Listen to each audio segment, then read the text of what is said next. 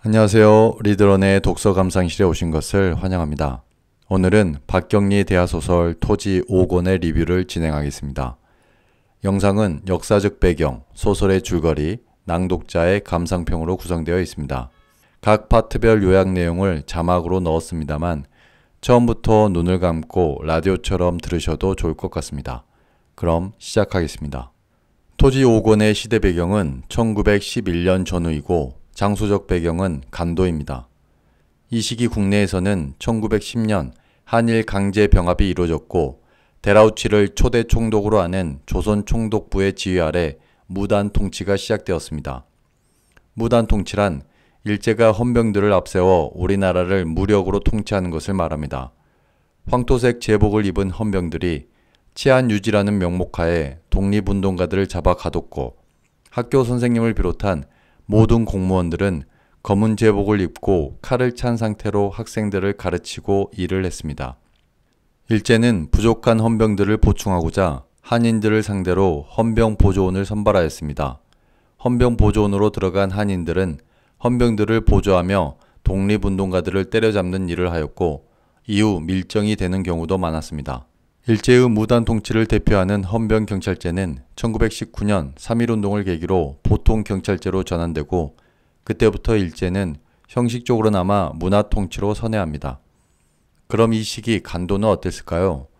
1910년 한일 강제 병합이 되자 더 이상 국내에서 의병 투쟁을 할 수 없다고 판단한 의병 세력과 그 가족들은 일제의 탄압을 피해 간도나 연해주로 건너가 독립활동을 이어가거나 농사를 지으며 타양살이를 시작했습니다.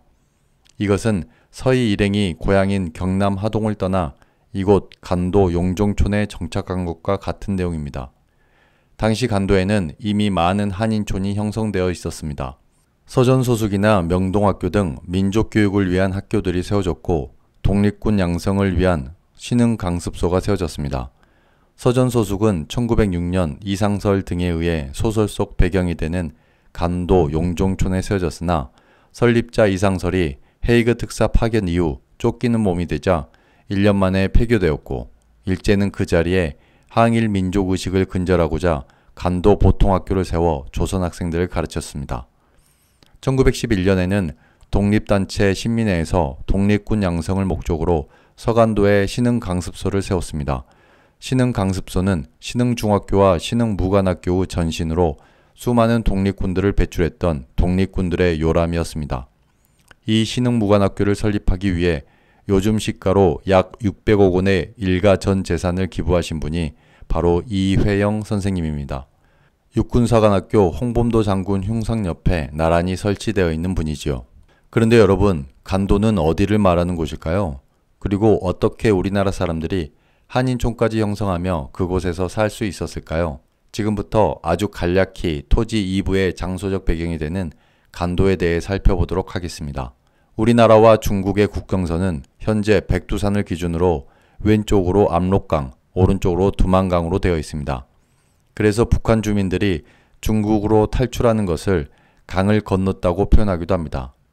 간도는 압록강과 두만강 바로 위쪽 지역을 말합니다. 압록강 위 지역을 서간도 혹은 남쪽에 위치한 만주라 하여 남만주라고 하고 두만강 위 지역을 북간도 혹은 서간도에 비해 동쪽에 위치해 있다 하여 동간도라고 합니다. 우리가 일반적으로 그냥 간도라고 하면 이 북간도를 가리키는 것입니다. 북간도에는 훈춘, 용정, 연길, 회령, 도나 등의 지역이 있고 이 중 우리에게 가장 익숙한 곳은 아마도 연길, 즉 연변일 것입니다. 이곳 간도 지역은 역사적으로 고조선, 부여, 고구려, 발해의 땅이었다가 이후 중국의 원나라, 명나라를 거쳐 청나라 땅으로 자리 잡게 됩니다. 청나라는 이 지역을 자신들의 발상지라 하여 봉금 정책, 즉 아무도 들어가지 못하게 하는 정책을 펼쳤고 그로 인해 이 지역은 오랫동안 사람이 살지 않는 빈 땅으로 남게 됩니다. 그러나 19세기 중엽 청나라의 통치력이 약화되고 조선에 연이어 흉년이 들면서 강을 건너 간도 지역에 들어가 정착하는 조선 사람들이 증가하게 되었고 점점 그 숫자가 늘어갔습니다. 오랫동안 방치되었던 몹쓸 땅은 조선인들에 의해 개간되었고 청나라에서도 이 지역에 대한 개발의 필요를 느껴 봉금령을 해제합니다. 이제 간도는 사람이 들어가 살아도 되는 땅이 되었고 사실상 조선 사람들의 점유율이 훨씬 많다 보니 조선과 청나라 사이에 간도 지역에 대한 영유권 문제가 일어나기 시작했습니다. 영유권 분쟁이 생기자 두 나라는 역사적으로 들여다보자며 18세기 숙종 때 청나라와 조선의 경계를 표시했던 백두산 정계비를 살펴보았습니다. 백두산 정계비에는 서위 압록, 동이 토문이라고 적혀 있었습니다. 즉 서쪽으로는 압록강까지, 동쪽으로는 토문강까지가 국경선이라는 것입니다. 토문강은 압록강과 두만강 사이에서 북쪽으로 수직으로 가르는 조그마한 강이고 그 강줄기는 송화강으로 연결됩니다. 이 문헌대로라면 토문강 오른쪽인 북간도의 땅은 우리나라 땅이 되는 것입니다. 그런데 청나라는 갑자기 토문강은 그 발음상 두만강을 가리키는 것이라고 주장하며 간도는 청나라 땅이라고 주장하기 시작합니다. 이런 대립이 계속되는 와중에도 조선의 이주민은 계속 늘어났고 1890년대에는 간도 전역에 조선인 촌락이 형성되었습니다. 이런 상황에서 1905년 을사 조약이 맺어집니다.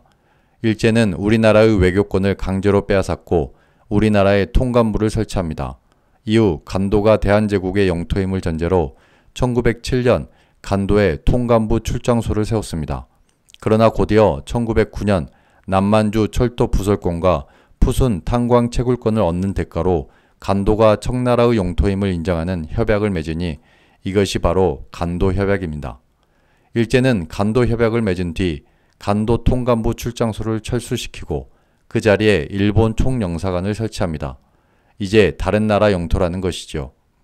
이 간도 협약으로 일본은 조선과 청나라 사이에 계속되었던 간도 영유권 분쟁을 어이없이 종결시켜버린 것입니다.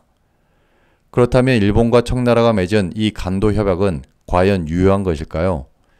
우리나라가 아닌 일본이 청나라와 협약을 맺은 이유는 을사조약을 통해 우리의 외교권을 일본이 빼앗아갔기 때문입니다. 그럼 을사조약의 국제법상 유무효를 따져보면 간도협약의 유무효도 나올 것입니다. 1905년 일본과 맺어진 을사조약에는 고종 황제의 직인, 즉 옥새가 찍혀 있지 않았습니다. 황제가 허락하지 않은 조약에 외무 대신 박재순의 도장만 찍혀 있었기에 이 조약은 무효입니다. 을사조약이 무효이므로 그를 이유로 한 간도협약도 당연히 무효가 되겠지만 국제법상으로 한 나라가 어느 지역을 100년 동안 실효적으로 지배한다면 그 나라의 땅으로 인정하는 관행이 있기에 사실상 관도는 이제 국제법상 중국의 땅이 되었습니다. 당시 간도에서 한인촌을 형성하며 살았던 조선인들의 후손들이 지금의 조선족입니다. 여기까지 토지 2부의 장소적 배경이 되는 간도에 대해 간략히 알아봤습니다. 이제 소설의 줄거리로 넘어가겠습니다. 911년 간도 영종천 서희 일행은 3년 전 고향을 떠나 이곳 간도 영종으로 왔습니다. 이제 서희는 19살이 되었고 길상이는 26살이 되었습니다. 서희 일행이 이곳에 처음 왔을 때 이곳에는 오랫동안 객주집을 하며 용정과 인근 사정에 밝았던 월선이의 삼촌 공노인이 있었습니다. 서희는 윤씨 부인이 장롱 농발에 아무도 모르게 남겨준 금과 은을 모두 현금화시킨 뒤 그것을 기반으로 여러 사업을 진행하였습니다. 서희의 사업 수완, 길상이의 행동력, 공노인의 정보력이 합쳐진 결과 서희는 간도에 온 지 3년 만에 용종촌에서 제일 가는 부자로 성장하게 됩니다. 그럼 서희와 함께 온 나머지 사람들은 어떻게 생활했을까요? 서희와 함께 간도로 온 평사리 사람들은 길상이, 용이, 이민애와 가족들, 월선이, 영팔이, 김운장, 그리고 이부사댁 상현입니다. 봉순이도 함께 오려 했지만 길상이가 자신을 여자로 생각하지 않는다는 것을 최종적으로 확인한 뒤 이들이 간도로 무사히 갈 수 있도록 도왔을 뿐 따라오지는 않았습니다. 길상은 서희를 도와 사업을 키웠고 용종에서 자리 잡는데 큰 역할을 하였습니다. 반상의 구별이 없어졌고 조선 땅도 아니었지만 길상은 서희를 여전히 잘 모셨습니다. 그러나 평사리에서와는 달리 무조건적으로 복종하는 관계는 아니었습니다. 필요한 말은 했고 거절할 부분은 거절도 하였습니다. 길상은 인물이 좋았기에 공노인의 양녀, 송혜를 비롯한 용종촌의 마을 처녀들이 모두 좋아했지만 정작 길상은 누구에게도 마음을 열지 않았습니다. 홍기가 찬 길상이 혼인을 하지 않고 서희 또한 길상이의 혼인에 적극적이지 않으니 호사가들 사이에서는 둘 사이의 관계를 의심하는 이야기들이 나오기 시작했습니다. 월선이는 삼촌 공로인의 도움으로 국밥집을 했습니다. 용이 이민혜는 월선이의 장사를 도우며 함께 살았습니다. 장사는 잘 됐지만 돈이 모이지 않았습니다. 용이는 그 원인이 이민혜가 딴 주머니를 차서 그렇다는 것을 눈치챘고 돈을 왜 빼돌리느냐며 이민혜를 몰아붙입니다. 마흔이 넘은 이민혜도 내가 돈 빼돌린 것을 당신이 받느냐며 지지 않고 맞받아칩니다. 이민혜는 돈을 빼돌려서 마을에서 이자놀이를 했던 것입니다. 용정에 함께 온 영팔이는 식구들을 데리고 청나라 사람의 땅에 소작을 붙이기 위해 퉁포슬이라는 마을로 떠났습니다. 용인은 떠나는 영팔이를 잡으며 함께 장사나 하자고 하였지만 시간이 지날수록 오히려 영팔이를 따라가지 않는 것을 후회했습니다. 한편 이부사댁 상현은 상이학교라는 곳에서 아이들을 가르칩니다. 그곳은 용종의 자산가 송병문 씨가 설립한 학교로 그의 차남 송장환이 학교 경영과 교육을 맡아서 하는 곳입니다. 상현은 송병문 씨 댁의 사랑방에서 기가하며 교사 생활을 했습니다. 상현은 서희 일행이 3년 전 간도로 올 때 아버지 이동진을 만나기 위해 함께 왔었습니다. 고향에 처자식이 있었기에 아버지만 보고 다시 돌아갈 거라는 마음으로 간도에 왔지만 3년이 지나도록 돌아가지 않고 있습니다. 아버지 이동진은 상현에게 고향으로 돌아간 뒤 처가와 상의하여 일본으로 유학을 떠나라고 얘기합니다. 그러나 상현은 쉽게 떠나려고 하지 않았습니다. 그를 붙잡고 있었던 것은 바로 서희였습니다.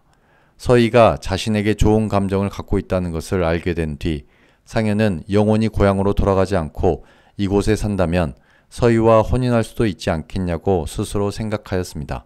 마지막으로 김훈장은 길상이 마련해준 집에서 하숙을 합니다. 그곳의 아주머니는 시장에서 야채를 팔며 아들을 키웠습니다. 아들의 이름은 박정호. 정호는 용이의 아들 홍이와 단짝 친구였고 둘 다 상이학교 송장환 선생의 제자들이었습니다. 김훈장은 정호와 그의 어미가 자신을 대하는 언행을 보며 비록 지금은 장사를 하지만 뼈대 있는 가문이었을 거라고 생각하고 정호에게 틈틈이 한자를 알려줍니다. 그의 예상대로 정호의 아버지는 유생 출신 의병장이었습니다. 인물들을 소개한 김에 송장안의 이야기를 좀 더 하겠습니다. 송장안은 토지 5권에서 처음 등장하는 인물입니다. 용종촌의 재력가 송병문의 차남으로 위로 형인 송영환이 있습니다. 그의 집안은 정확히 드러나지는 않았지만 중인 출신 재력가 정도로 보여졌습니다. 송장환은 아버지가 설립한 상이학교를 실질적으로 운영하면서 홍이와 정호 등 아이들을 가르치고 있습니다. 정호의 누나 정순이를 좋아했으나 가난한 집안과 혼인할 수 없다는 집안의 반대에 부딪혀 혼인을 하지 못하였고 지금도 노총각으로 지냅니다. 같은 노총각 신세여서 그랬는지 송장환은 길상을 김영이라 부르며 좋아했습니다. 이렇게 서희 일행은 지난 3년을 보냈습니다. 그리고 얼마 전 용정에 큰 불이 났습니다. 불로 인해 마을 대부분의 집이 불탔습니다. 당연히 국밥집에도 불길이 번졌지요. 다급해진 이민혜는 안방에서 자신의 베개를 꼭 끌어안고 나옵니다. 홍이를 찾고 있던 용이는 이깟 베개는 뭐하러 끌어안고 있느냐며 베개를 불길 속으로 던져버리는데 이민혜는 타는 베개를 보며 미친 사람처럼 부르르 떨면서 소리치릅니다. 그 안에 자신이 모아둔 돈이 있었기 때문입니다. 용이는 이민혜에게 정이 떨어졌고 잔인한 중호심마저 느꼈습니다. 불타버린 용종촌을 뒤로하고 서유와 사람들은 우능사 절로 피했습니다. 불이 나고 며칠이 지났지만 상현은 서희의 안부를 묻기 위해 찾아오지 않았습니다. 상현과 서희는 불이 나기 전 독립군에게 군자금을 지원하는 문제로 크게 다툰 적이 있었기에 서희는 마음이 쓰였고 길상에게 상현을 찾아가 보라고 합니다. 군자금 문제는 이런 내용이었습니다. 간도와 연해주를 오가며 독립운동을 하고 있는 상현에 붙인 이동진은 홍범도 장군의 부대에 군자금이 필요하다는 얘기를 듣고 용정에 서희를 소개해 줍니다. 그러나 서희는 자신을 찾아온 독립군에게 군자금을 내주지 않았습니다. 그러면서 친일 성향의 우능사 절에는 많은 돈을 시주했는데 상현은 그것이 탐탁지 않았던 것입니다.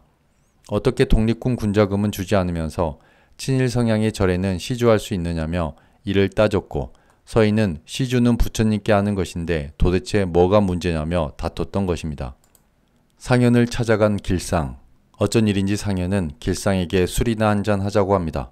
술잔이 몇 순배 돌자 상현은 길상에게 왜 아직까지 혼인을 하지 않는지 물었고 혹 그것이 서희 때문이라면 포기하라고 직설합니다.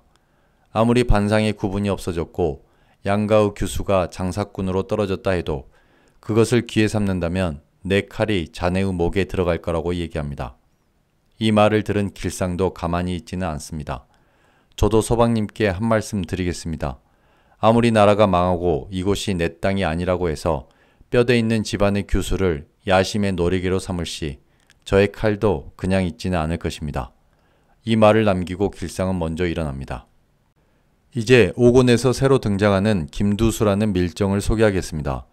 눈이 째져 불량기가 더욱 진하게 드러나는 김두수는 공로인을 찾아와 용정 마을에 불이 났으니 집을 다시 짓지 못하는 사람들은 집터를 팔고 마을을 떠날 것이라며 좋은 땅이 나오면 자신에게 연락을 달라고 합니다. 공로인은 그런 김두수가 왠지 마음에 들지 않았습니다. 길을 걷던 김두수를 어쩐 일인지 용이가 한참 쳐다봅니다. 어디서 봤더라 생각한 용이는 드디어 생각이 났습니다. 김두수는 바로 김평산의 장남 거복이었습니다. 동생 한복이와 달리 마을을 떠난 뒤 한 번도 나타나지 않았던 거복이를 간도 땅 용정에서 십수년 만에 다시 만나게 된 것입니다. 어릴 적 느낌 그대로 거북이는 불량기가 몸에 배어 있었고 최참반댁에 대한 복수심을 용이 앞에서 대놓고 드러냈습니다. 어머니 하만댁의 장례를 치러준 용이에게는 예의 바르게 행동했지만 말끝마다 뿜어져 나오는 불량기는 어쩔 수 없었습니다. 용이는 서희가 용정에 있다는 말을 하지 못했습니다. 용이를 만나고 돌아가는 길에 김두수는 누군가 자신을 쫓고 있다는 것을 느끼고 간도 일본 총영사관으로 도망갑니다. 김두수는 일본의 밀정이었고 김두수를 쫓는 사람은 박재현이라는 이름의 독립군이었습니다. 예전 김두수가 헌병 보조원으로 일할 때 의병장을 밀고 하여 죽인 적이 있었는데 그때 죽은 의병장이 박재현의 형님이었습니다. 그리고 그 의병장은 김훈장이 기거하고 있는 집의 아들 박정호의 아버지이기도 했습니다.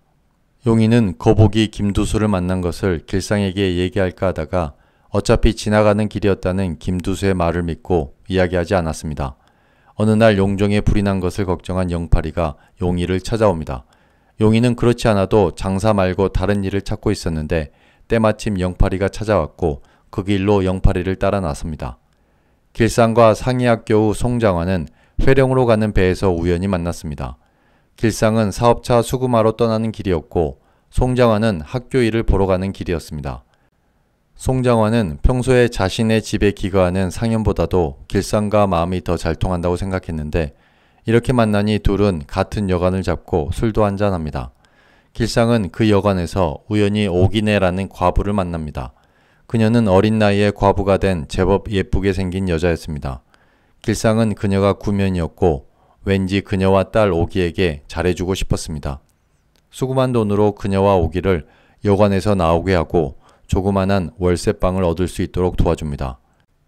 한편 길상이 회령에서 일을 보고 있는 사이 서희는 상현을 집으로 초대했습니다. 술상 위에 놓인 두 개의 잔. 서희는 뜬금없이 상현에게 은한매를 맺자고 제안합니다. 내심 서희가 자신을 남자로 보고 있다고 생각했던 상현은 어이가 없었습니다.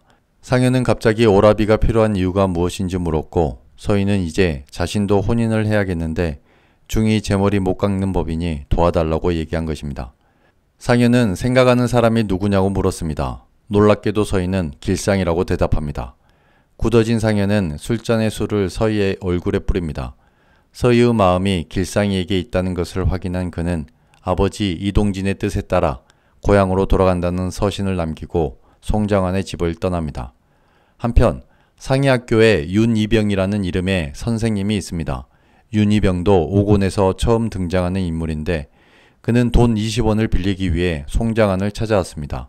옛 애인인 금녀가 자신을 찾아와서 며칠을 함께 묵었고 그녀를 다시 돌려보내기 위해 필요한 돈이었습니다. 금녀도 처음 등장하는 인물인데 그녀는 술주정뱅이 아버지로 인해 술집에 팔렸고 다시 김두수에게 팔린 여자입니다. 김두수의 여자가 된 금녀는 그를 벗어나기 위해 도망쳤고 옛 애인이었던 윤희병을 찾아 여기까지 온 것입니다. 기독교인인 윤희병과는 어린 시절 예배당에서 처음 만나 사랑을 나눴지만 지금 윤희병은 금녀를 자신을 찾아온 환락의 대상 정도로만 생각하고 있습니다. 김두수는 수소문 끝에 윤희병과 금녀를 찾아냈고 겁 많은 윤희병에게 목숨을 살려줄 테니 자신의 밀정이 되라고 얘기합니다. 김두수는 금녀를 데리고 돌아가는 길에 자신을 쫓는 자들을 또다시 발견합니다. 김두수는 금녀를 홀로 둔 채 도망갔고 그들은 금녀를 인질 삼아 데려갑니다. 금녀를 데려간 두 남자는 20대 중반의 여인이 있는 집으로 들어갔는데 그곳은 상위학교 송자환 선생이 좋아했던 종호의 누나 정순이의 집이었습니다.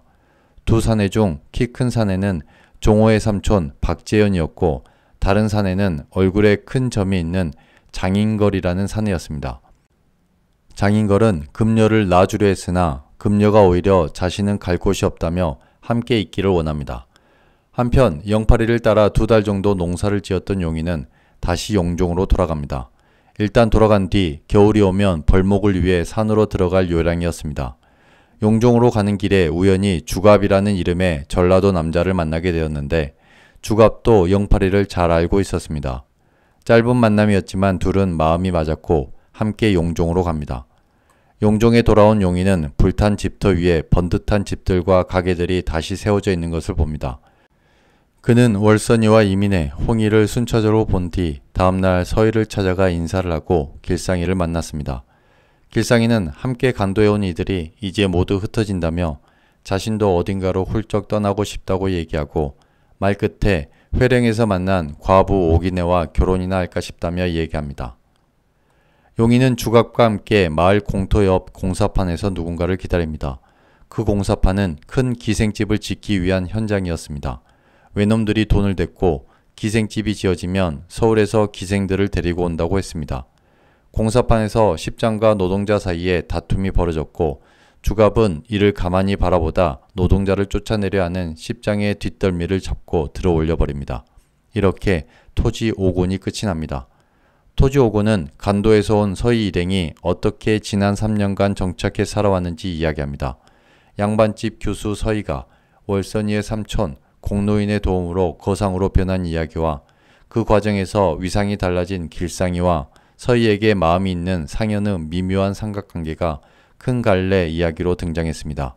새로 등장한 악당 김두수가 조금 밋밋해지는 이야기에 조금씩 활력을 불어넣어줬고 상해학교 교사 송장환, 김두수의 밀고로 죽은 의병장의 아들 박정호, 종호의 삼촌이자 독립군 박재현, 박재현과 함께 김두수를 쫓는 전박이 독립군 장인걸, 금녀의 옛 애인이자 현재 상위학교 선생으로 있는 겁 많은 기독교인 윤희병, 아버지에 의해 술집에 팔린 뒤 김두수의 여자가 되었지만 도망쳐 나온 금녀, 왠지 든든한 느낌의 전라도 남자 주갑 등 새로운 사연의 인물들이 등장해 이야기의 실타래를 여러 갈래로 펼쳐놨습니다. 특히 토지 일부를 보면서 김평산의 아들 거보기가 크면 악당으로 나올 것 같다는 생각을 했었던지라 거보기의 등장이 더욱 반가웠습니다. 마지막에 용종에 큰 기생집이 생긴다는 얘기를 들었을 때는 가장 먼저 봉순이가 떠올랐습니다. 소리를 좋아했던 봉순이, 서희 일행 모두를 간도로 보낸 뒤 홀로 고향에 남았던 봉순이의 이야기는 오곤에서 한 번도 등장하지 않았기에 더욱 궁금해졌습니다. 과연 봉순이가 용종의 기생집으로 올지 다음 편에서 확인해 보겠습니다. 이상으로 토지 5권의 리뷰를 모두 마칩니다. 내일부터 시작되는 추석 연휴 구독자 여러분의 풍성한 한가위를 기원합니다. 감사합니다.